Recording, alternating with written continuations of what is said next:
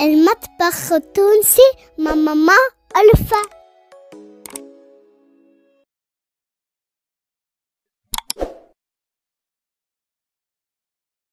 مرحبا بكم الناس اللي كل يوم شنو بعضنا؟ بيتزا عربي سريعة على الأخر وبنينة على الأخر.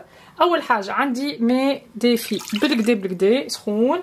علاش دافي؟ على خاطر عندي كعبة ياغورت باردة من الفريجيدير. هذاك علاش سخنت الماء بالكدا؟ نحط فيه مغرفة صغيرة عسل.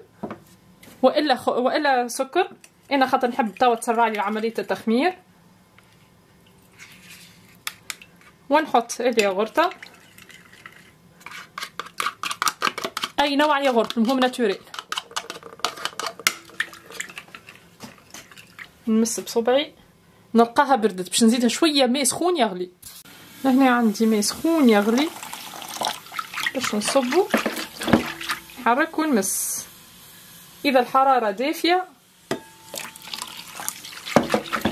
نحط عليها أي باهي الحرارة هكا ما تحرقش الصباع. ويقبلها البدن. نحط مغرفة كبيرة خميرة فورية.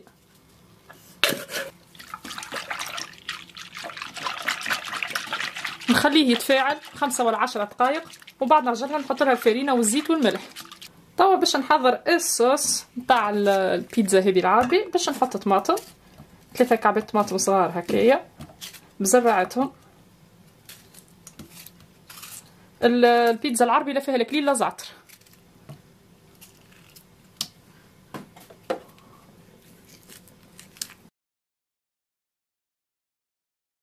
عندي سنة ثوم صغيرة. وعندي راس بصل هكا صغير.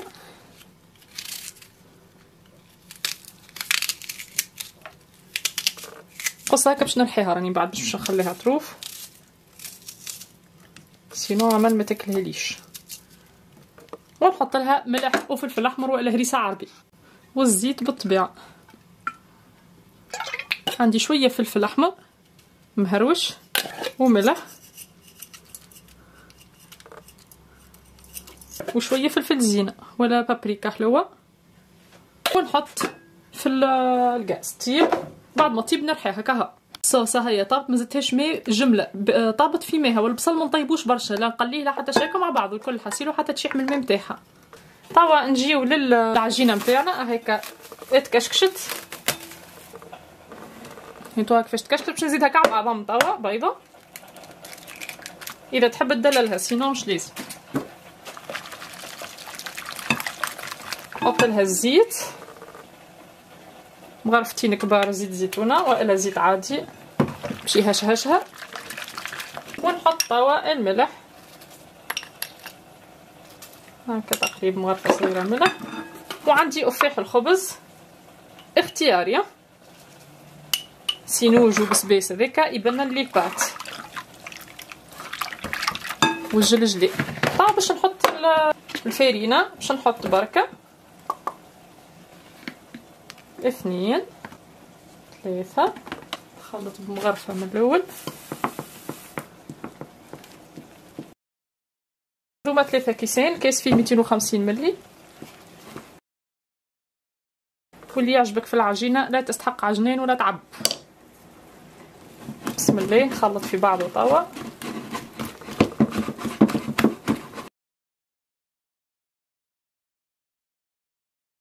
هكا طبعا نحط لها شوية زيت باش تتقلع لي من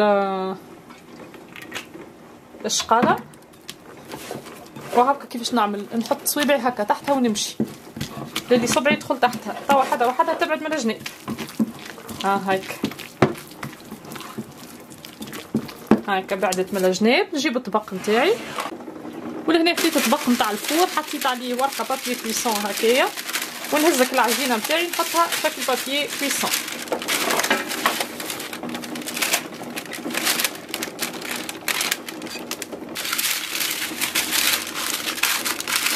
نجمو ترشوا الماء في الطبق تو يلصق البابي كويسون باهي الماء مع المعجنات باهي. ونمشيها بيديا قد ما نقدر.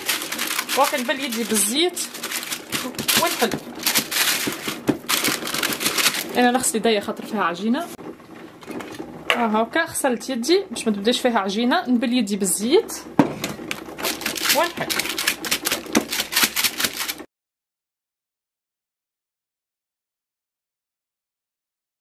وطبعا بعد ما كملناها فردناها على طولها. من غير ما تغطيوها déjà هي بالزيت يا ترميو عليها منديلة يا تحطوها في بلاصة هكا مسكرة خليوها تخمر تقريبا 10 15 دقيقة أخرى يتضاعف الحجم نتاعها نحط فوقها الصوص وندخل ال four أسهل من هكا ما فماش. وطبعا هايك الحجم نتاعها كضاعف ما شاء الله. أنا كنت حاطة عليها هذه الصوصه وكرحيتها شوية. نجم نجي نعمل فيها هكا ضربات.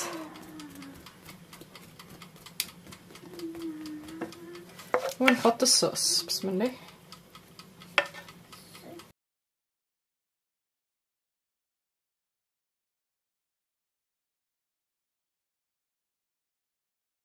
المرحلة هذه تنجموا تدخلوها بالصوص كهو وتنجموا تحطوا عليها جبن. أنا باش نحط عليها جبن من توا خاطر نحبو طايب ما نحبوش الجبن ناي والبيتزا العربي ما فيهاش برشا جبن يحطوا شوية كهو يحطوا كل الجبن العربي ذاك في الأخر جست شوية يبدأ كعبيت متطايرة.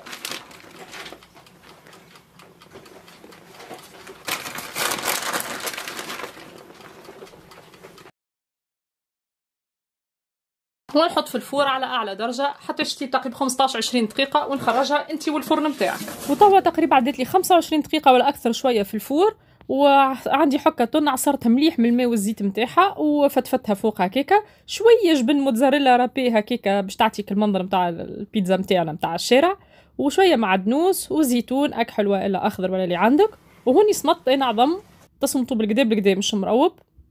ونحط على كل برج ترونش عظم. وبعد نقصها كيما تحبوا نتوما الكبر نتاعها. هذه يسميوها البيتزا بوكيلو. ها هي البيتزا نتاعنا هي حضرت. نلوطها كيكة طابة. من فوق شوفوا قداش طرية خفيفة راهي هشوشة وطرية على الأخر. عمال باش تذوق لنا البيتزا وتقول لنا شنو رايها بسم الله. ها بسم الله.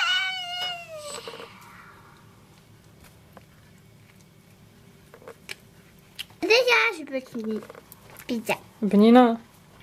أي. عجبك العظم معاها. هكا وهذه وصفتنا كانت لليوم. ان شاء الله جابوها وان شاء الله تعجبكم في حلقة أخرى ووصفة أخرى. وبسلامة. بسلامة.